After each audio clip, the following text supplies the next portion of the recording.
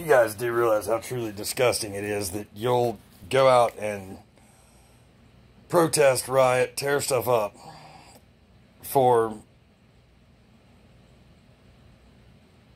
police brutality, but yet you won't protest and do anything when it comes to the children in this country that go missing. Google it. It's like 460,000 a year. Um, it was higher than that. It's kind of changed some. That doesn't say anything about children that returned or, or missing or found or any of that. And that's really sad that you guys will go out, kill innocent people, and destroy things. And that you accept Hollywood not doing anything about it with the missing children either.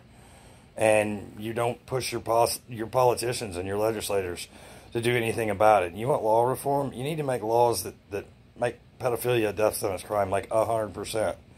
And, you know, people that prey on children.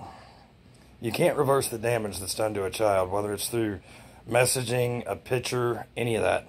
I mean, let alone them, you know, being groomed or, or ending up in the hands of a pedophile. And for you guys to riot and tear shit up and do this stuff and this life matters, that life matters. We're all here. We're all stuck on this spinning rock, and all of it matters. And I mean, y'all playing in the narrative and not pushing big media, you know, to do something different, not protesting that. Come on, man. What are we doing? Why are we fighting with each other? We're all in here against the machine, you know, and fighting with each other and dividing the country yet again. That's all they want us to do. Lockdowns didn't work. COVID 19 didn't break us. Come on, people. We're better than this as humans.